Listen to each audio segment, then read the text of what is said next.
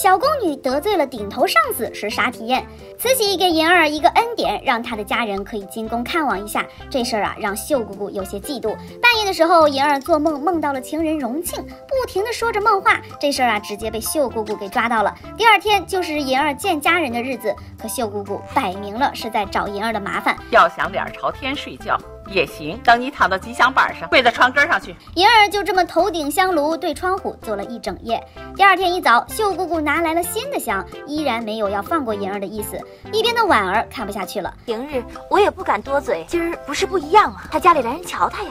秀姑姑本来就憋着一口气，听到婉儿这话更是没好气。不瞧就不难受了，老佛爷给了他恩典，我这儿可照样。银儿就这样结结实实的被罚了一通，她腰酸背痛的躺在床上。人家家里。探工碍着你什么了？紧接着秀姑姑来了，她把衣服扔给了银儿，让她赶紧去见家里人。银儿被这么一折磨，有些不敢去了。但秀姑姑可不想让她顺了心，这是恩典，你敢抗旨吗？折腾了一通，终于真的能见家里人了。可来的人竟不是自己的老妈。赢儿，哎哎，怎么是您啊？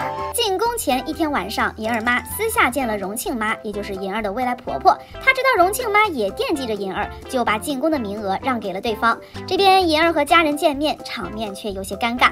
麻花太监觉出了不对劲，以为是来错了人。荣庆妈很识相的递出了银子，并说自己是银儿的舅妈。看来还是荣庆妈懂规矩啊！你妈知道我惦记着你，就把这个恩典让给我了。银儿问着荣庆的处境，这时他才第一次知道，荣庆为了能见到自己，居然去了禁军。不，千万别让他来，来。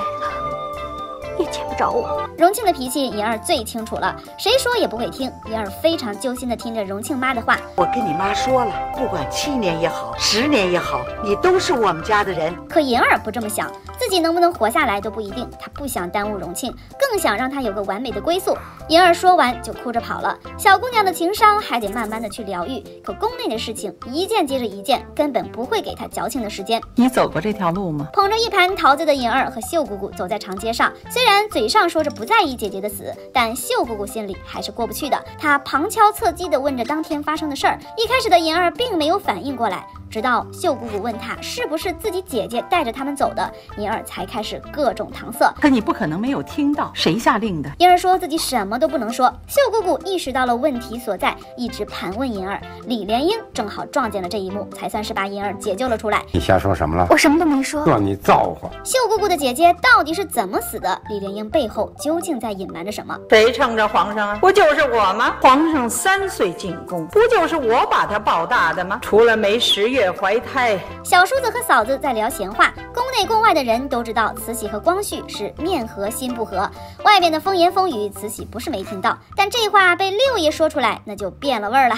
我们母子俩就跟亲的一样，不许你们跟着别人胡说。在一边更换果子的银儿被慈禧和奕欣的话吸引了，她心不在焉地换着果盘，但心思啊早就飞到了谈话那边去了。不过。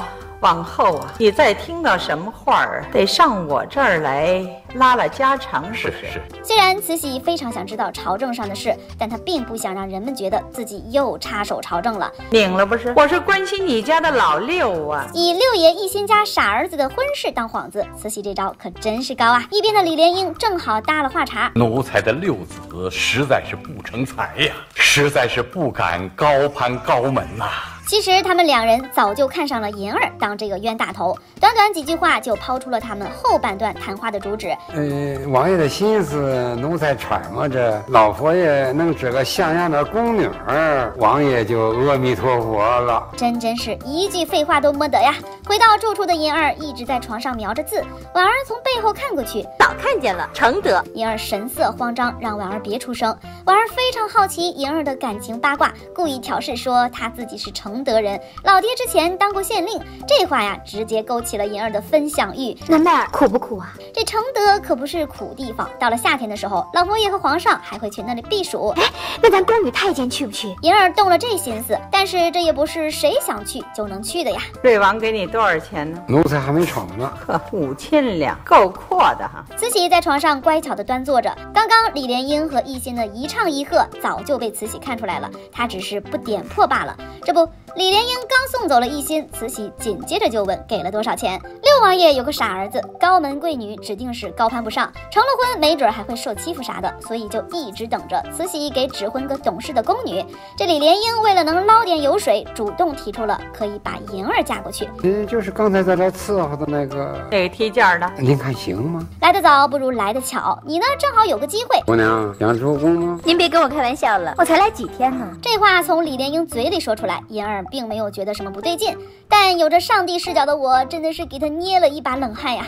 李莲英并没有把话和银儿说全，只说了要出宫的事儿，但具体是怎么个出宫法，纯纯是蒙了银儿。这天，慈禧问着银儿多大了，你多大了？奴婢十六了，奴婢不小，说话就十七了。是不是乐意啥的？刚进宫没多久的银儿哪能搞清楚这宫中人的花花肠子呢？说走就走，丁点儿都不惦记我这儿啊！他自认为又有了恩典可以出宫了，便着急着表现自己非常乐意出宫的意愿。奴婢回到家里，奉上老佛爷长生牌位，天天上香，祝老佛爷万寿无疆。慈禧听完这一番话，十分满意，也定下了银儿嫁人这事儿。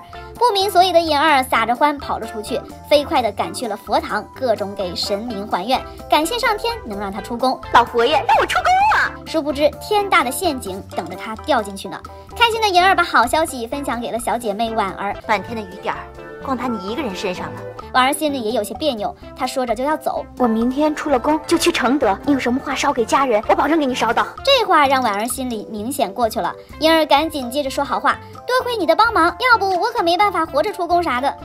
嗯，这话听着让人舒心。我巴不得你和我一块儿走呢。婉儿越听越伤心，还掉下了眼泪。银儿入宫以来唯一的伙伴就是婉儿，两个人在偌大的后宫相依为命，如今要分开，竟有些舍不得。咱们姐儿俩就冲着佛爷一拜吧。哎，刚安抚完婉儿，紧接着又来了秀姑姑。你就不能跟我说句实话吗？秀姑姑为了调查姐姐的死因，开始和银儿打感情牌。